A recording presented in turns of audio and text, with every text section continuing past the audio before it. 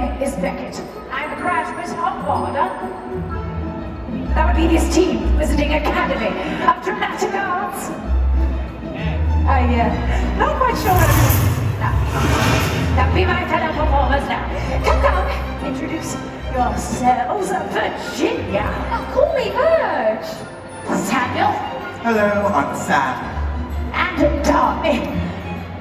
Very nice, thank you. Look at this attractive and obviously receptive crowd. This is the perfect place for us to hone our craft. Let's finish getting ready. Let's. Let's. We're ready.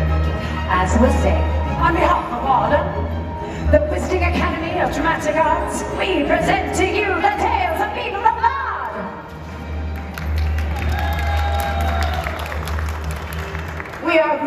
group of classically trained performers and puppeteers, constantly looking to perfect our artistry.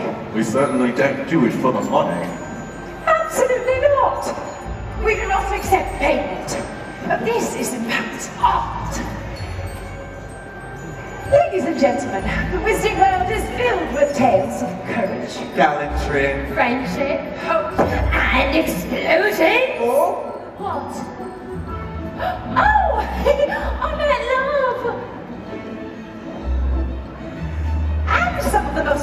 most famous of those tales come from a man who lived over 500 years ago. his name was Beedle the Bard, and he had one of the most luxuriant beards. Samuel, I hardly think that they care about his beard. His luxuriant beard. Truth be told, I wager Gringotts vault stacked with galleons, so there's not a child race in the Wizarding World today who doesn't know about the tales of Beedle the Bard. Oh, heart? wizard in the hopping box. Babbitty, rabbity, And her cackling stone. Are you both quite finished? I would like to continue before my patience runs out. Would you look at that bird? What's that sound? It's Beckett's patience running out. Oh! Sorry. Let's do what we came here to do. What's that? Right? Theatre. Hexes. Well, What story are we telling? Got it.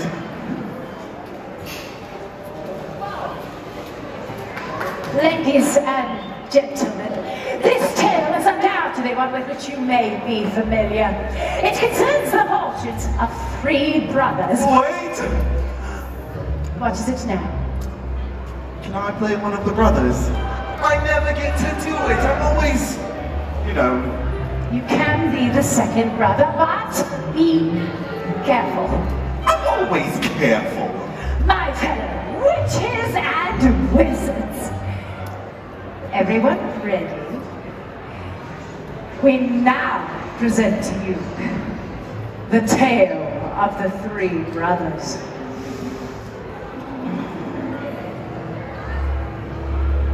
There were once three brothers who were traveling along a lonely winding road at twilight. In time, the brothers reached a river too treacherous to pass, but being learned in the magical arts, they simply waved their wands and made a bridge. Before they could cross, however, they found their path blocked by a hooded figure. It was Death.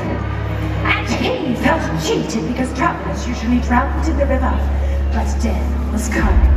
He pretended to congratulate the three brothers upon their magic and said that each had earned a prize for having been clever enough to evade him. The oldest brother, who was a combative man, asked for a wand more powerful than any in existence, a wand that must always win duels for its owner. So Death fashioned him one from an elder tree that grew nearby. Then the second brother, who was an arrogant man, decided that he wanted to humiliate Death still further in order for the power to recall others from death. So Death picked up a stone from the riverbank and gave it to him. Finally, Death turned to the third brother. A humble and wise man, he did not trust Death. So he asked for something that would enable him to go forth from that place without being followed by Death. And Death, most unwillingly, handed over his own cloak of invisibility. In due course, the brothers separated, each for his own destination. The first brother travelled to a distant village, where he sought out a wizard with whom he had once quarrelled. Naturally, with the Elder as his weapon, he could not fail to win the duel that followed. Leaving his enemy upon the floor, the oldest brother proceeded to an inn where he boasted loudly of a powerful wand he snatched from death himself and of having made it invincible. But that very night, another wizard crept upon the oldest brother as he lay upon his bed, whereupon he stole the wand and with it the brother's life. So death took the first brother for his own. Meanwhile, the second brother took the stone that had the power to recall the dead it thrice in hand. To his amazement and his delight, the figure of the girl he had once hoped to marry before her untimely death appeared at once before him. Yet soon she turned sad and cold, for she did not belong in the mortal world. Driven mad with hopeless longing, the second brother took his own life, so truly to join her. And so death took the second brother for his own. As for the third brother, death searched for many years, but he was never able to find him. It was only when he had attained a great age that the youngest brother shed the cloak of invisibility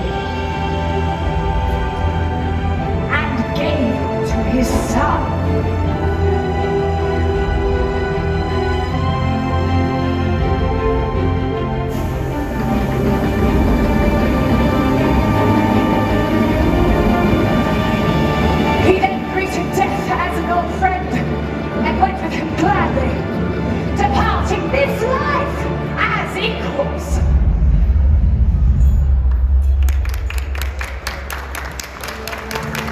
Ladies and gentlemen, the Wizarding World is filled with tales of courage, Gallantry.